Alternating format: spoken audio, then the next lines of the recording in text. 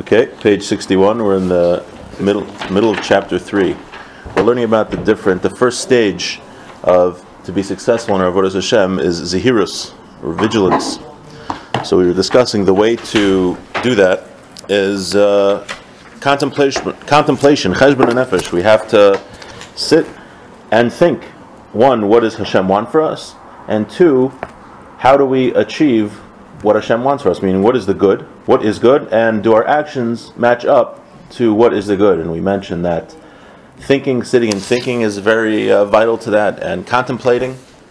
And the Yetzer Hara, since it's such an important thing, the evil inclination, the Yetzer Hara tries to get us distracted from that, that we're so busy with work and with other things that we have no time to just uh, sit and think. And that's a very, very important thing. The most important thing is just to sit and think. One, what does Hashem want for me? And two, am I living up to what Hashem wants? So let's start on page 61 and continue. Ach. Osam shekvar yotzu min ha'maser hazeh, hem roim ha'emes la'amito, v'yicholim liyayit shar b'nei adam alav. Those who have, we, we also, we mentioned also that we are um, in the grips of the Yetzer Hara, the evil inclination, that since we're, we're in this physical world, and if we don't have guidance in the proper path, we're really just blind people in a world of darkness, where we'll stumble and we won't even know what uh, we are about to encounter. And he says, worse than that, that sometimes we think what's good is evil and what's evil is good. And unless we have somebody who's already come out of this darkness, then we're hopeless. We have to trust those who have already come out of the darkness. And who is that? Those are the rabbis. Those are Chazal, the teachers who have already perfected their character to a certain extent. And uh, we have to take their advice. So those who have already come out of this, this, um, this, um, the, the, shackles, he says, the prison of, the, of, of this world, we have to take their advice. Halamazadama, what is this like? Lagan hamavucha, it's like uh, a corn maze. Hu hagan it's a certain garden, they used to have these in the Ramchal's times also. It's a certain garden that's planted for enjoyment. Hayadua etzel hasarim, I guess the, the princes used to have these during the, uh, during his time. Shahanatios asuyus ksalim, ksalim, the walls, the the um, vegetation, you had different um, shrubbery that made walls. It was like a maze, right? Just like you have a corn maze, they had the same type of maze made out of uh, bushes. And there were many paths, different paths that could uh, that were mixed up. They all looked the same. So you had this maze, and the, the idea was you want to get to the uh, the center of the maze. Right? I think now the corn maze has it where you start in the middle and you go out. I don't know. But uh, in these mazes, they, the corn mazes. Uh, oh, so corn mazes bismanazeh, you start on one side and end the other. But back in the day of the Ramchal, the corn mazes you start on the outside and you go in the middle. That was the goal. Okay, interesting. To research the history of corn mazes. Ramnam hashvilim, and they weren't even made out of corn then; they were made out of bushes. Ramnam hashvilim ha'ilem mehem yisharim magim ha'emes. Some of these pathways they are straight and they'll get you to the middle part. Majgim and some of these paths they will mislead a person and they will make him go further from the middle.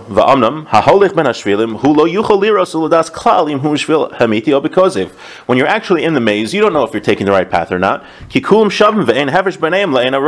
they all look the same, and somebody who's looking at them can't tell the difference. The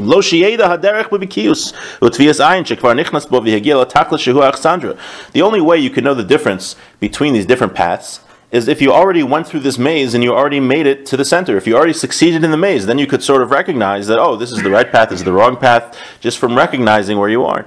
Vihine, ha'omid kfar al Alexandra, who roa kol adrachim ben amitis ve'hakaizmim. Ve'hakaizmim. Zeh l'chuvai only somebody who has already completed the path and he's in the middle. I think they used to have a raised platform. They would like go up. So if you're in the middle, you could look down and you could guide the people that are still in the maze what the what the right way is to go. But somebody in the maze has no idea if he's taking the right path or the wrong path because they all look the same. And now somebody who trusts, you have a person who's in the middle of the path and he's yelling down to the person. No, make a left, make a right. So if you trust the guy who's giving you directions, you're going to be successful and you're going to get to the uh, the goal. But if you don't trust them, then you're lost. But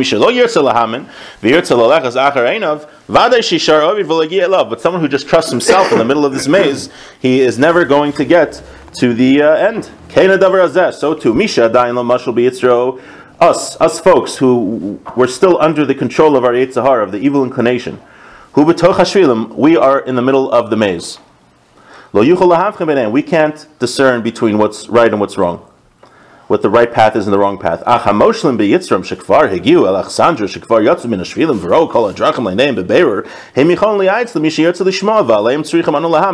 somebody who has already completed the maze and he stands in the middle, he knows what the right way is. And it's up to us to listen to that person who already completed the maze and he's already in the center, and he's been successful, and he's come out of the bonds of his Yetzer Hara. So he's yelling to us. They're yelling to us what the right path is, and it's up to us if we want to listen to them or not. Now, obviously, what's the uh, the mashal is obvious that he's talking about the sages and the rabbis that they direct us and they tell us what the right way is. Right? There's a general um, thing that the rabbis tell us. We look in the. He's going to say what what is exactly here in this case that the rabbis tell us to do. Right? We have Chazal, we have the the Gemara, the Midrashim, everything to in our Masorah, our tradition, to teach us what does Hashem want for us from us. And when we go in that path, that is when. That's like listening to the guy who's in the middle of the maze, who's already completed the maze, telling us how to get there. But it also happens on a, uh, a more specific level that in life, when you want to know when we want to know what the best thing is to do, right? What does Hashem want from us in our particular situation? We go to great rabbis and we ask them, which makes a lot of sense. Just like if you have a medical issue, you go to a doctor who's an expert in medicine. So too, if you have an issue in life and you want to know what the Torah says about this specific issue and how to uh, how to deal with it, you go to an expert in Torah, a person who spent his entire life studying Torah, and all of his decisions are based on what the Torah wants and what Hashem wants. So obviously, it makes sense. That's what something called Das Torah. You go to a big. It's not a. It's not a magical thing like you go to a rebbe and he gives you a blessing and uh, magically the bright thing is going to happen. It's not like that. It's you go to a, a rabbi who spent his entire life studying Torah and uh, he's an expert in it, and he's going to guide you based on what uh, Hashem uh, Hashem wants from you.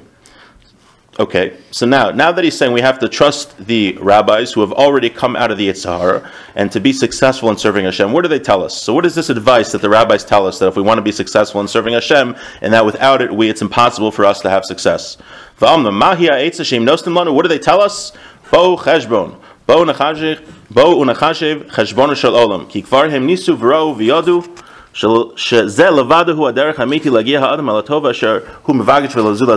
what do they tell us to do, the rabbis? Do a cheshbon nefesh, to sit and think, to think about what does Hashem want from us, and are we meeting those standards? That is the only way, nothing else. That's the only way that we can be successful in serving Hashem. So he has this whole um, parable about the corn maze type of thing, and someone's yelling at us and screaming, Do this, this is the only way you're going to get to the middle of the maze. This is the only way you're going to get out of the maze. And the rabbis are screaming at us, telling us, What's the one way and there's nothing else? Cheshbon nefesh. To sit and think. What does Hashem want from us? Two are, is what we're doing living up to what Hashem wants.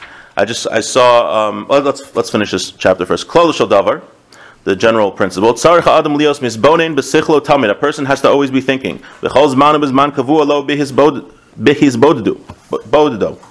One, he has to think all times. Two, he has to set aside to think. So it's not just to, it's not just enough to think sometimes. You actually have to set up a time to think. You know, maybe it's before we go to bed, five minutes before we go to bed to think, or when we get up, or we're on the bus, or we're driving home from work. But there has to be a set time. It's not enough to just say, oh, yeah, I'm going to think about it, because we all know if we don't put a set time, we're actually not going to do it.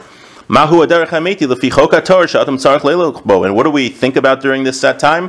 What is the true way, the true path that the Torah wants us to go?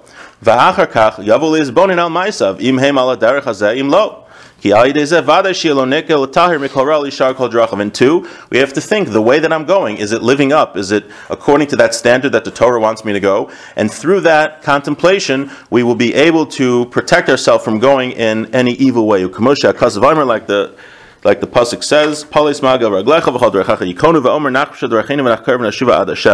says, weigh the course of your foot all, um, all your ways will be proper. And it says that we have to look through our ways, and uh, then we will return to Hashem. Uh, it's interesting. The Matnas Chelko from Rav Matisyahu Salomon says we should all go to a corn maze to just like really experience the the the parable here. So if we want to take a Mesilas Yesharim field trip, maybe mm-hmm. you could could organize that to go to a corn maze.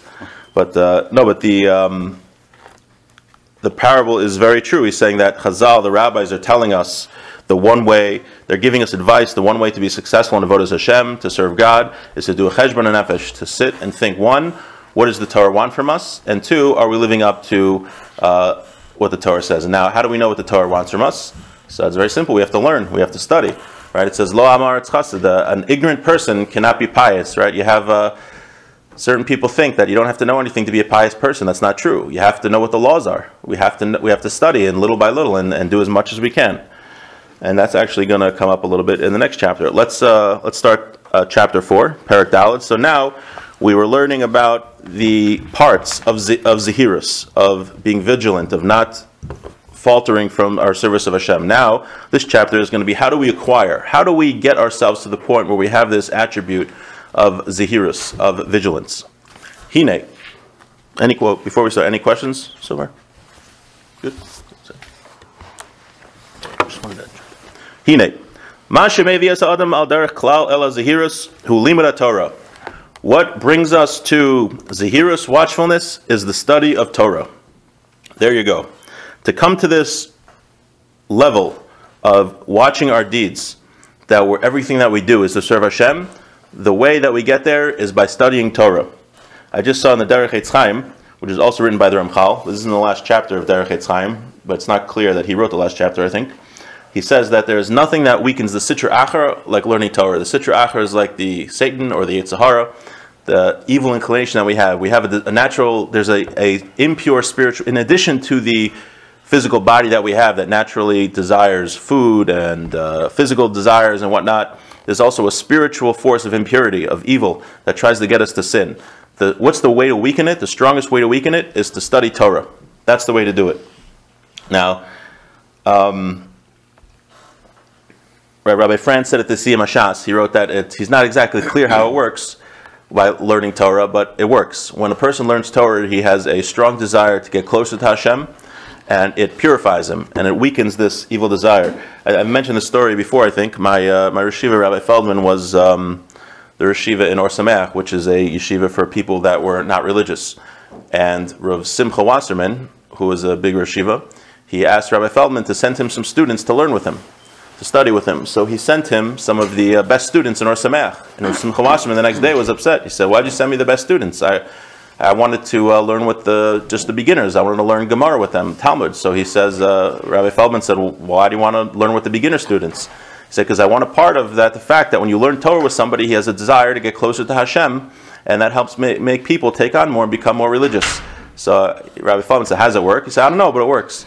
Right? There's a certain aspect of Torah. It's uh, it's like a gezeres hakasav. There's there is a certain spiritual element in Torah that makes a person want to get close to Hashem. But after that, Rabbi Feldman did say, uh, I think, a reason why, an aspect of it. One is that when we do something with our mind and we're totally involved with our mind, that our whole being is involved in it, right? When you do an action, your mind could be elsewhere. But when you do something with your mind and with your brain, your whole being is like totally enveloped in it. So, what is Torah? Torah is the das of Hashem. It's what God wants. That's God's will. This is what God told us. So now you're taking your mind and your whole being is subsumed in what God wants. So that could be part of the reason why Torah learning is um, is so powerful. Also, when you learn Torah, you come in contact with the integrity of the sages. I mean, where else do you find? Um, you know, you'll have rabbis arguing for three pages, bringing proofs and proofs and this and that, and then at the end, the rabbi will say, uh, "Oh, I'm wrong. No, you're right." Or how often do you see that? Or you can come to the uh, you can come to the kollel and, and check it out. The kollel here, the kollel there. You'll have two rabbis arguing for a very long time, and at the end, a rabbi will say, "Yep, you're, you're right. I'm wrong." Right? When do you find that in politics? Right? Sometimes you have people they're debating, and they uh, they just want to prove the other one's wrong. But when you're learning Torah, you're debating because you want to find out what the truth of Torah is. You want to see what does Hashem want from me. So of course, if you realize you're wrong, you're going to admit you're wrong. It's a tremendous honesty that you see in the sages. You see it throughout the Gemara, and you see our entire tradition entire, an entire Masorah, it's just a tradition of honesty of people who want to know what God wants from us. And you don't have that. Coming in contact with that is also uh, very powerful. Right, it says also, and the more that we, the more that we're involved in learning Torah, when we, the harder we work, the more it's matar us, the more it purifies us. Right, it says it compares learning Torah like a mikvah that uh, learning Torah purifies a person. But just like a mikvah, if one, if you go into a mikvah and one hair is out of the mikvah, you don't become purified. So too by Torah, you have to be totally involved. Um, so everyone should come to the kol here, the kol on uh, Genesi, and uh, you could see firsthand uh, Torah learning and participate in the uh, Torah learning. But also, besides that, besides all the spiritual elements of Torah learning, it's a practical thing. We have to learn Torah because we have to know what to do, right? How can we keep Shabbos if we don't know what the 39 forbidden labors are on Shabbos, or how to make Kiddush, or how to do other things? So there's the spiritual element of learning Torah purifies us, and it. Uh, it, uh, it weakens the Yetzer Hara, and there's also the practical aspect of learning Torah that uh, Pasha, we have to know what to do, how to serve Hashem. Okay, let's finish this uh, paragraph bit. Okay, v'huma she'amar Rabbi Pinchas betchilas abraisa Torah mevil lidei zehirus, and it's what it's Rabbi Pinchas ben Yair. Again, this whole book is based on the brisa where it lists the steps of how to come close to Hashem, and the first step is uh, is Torah study. Amna nadarach prat, but specifically hamevi lezehu ha'hizboninus al chomer ha'avoda shechayev b'ha'adam va'omek hadin aleh. So that's the general way. The general way to get to being careful in serving Hashem is to uh, is to learn Torah. But the specific way is through again contemplation, sitting and thinking, sitting and thinking about the seriousness of the service of Hashem that we are required to do. And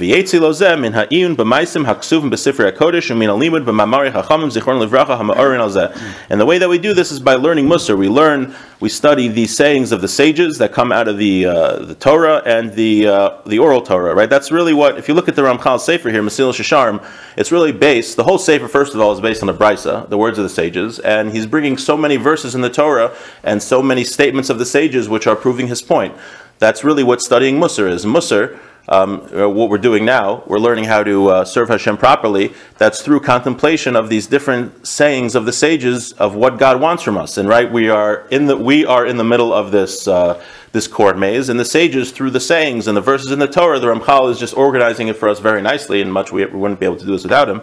But it's all based, everything he's saying is based on what the sages told us over from the Masorah, from Moshe Rabbeinu, that Hashem gave over, and it's our job to contemplate what we're learning and to, uh, to make a, a, real change, but it's all based on the Maimarim of, uh, of Chazal, of, of the sages. Any questions? Okay, stop you.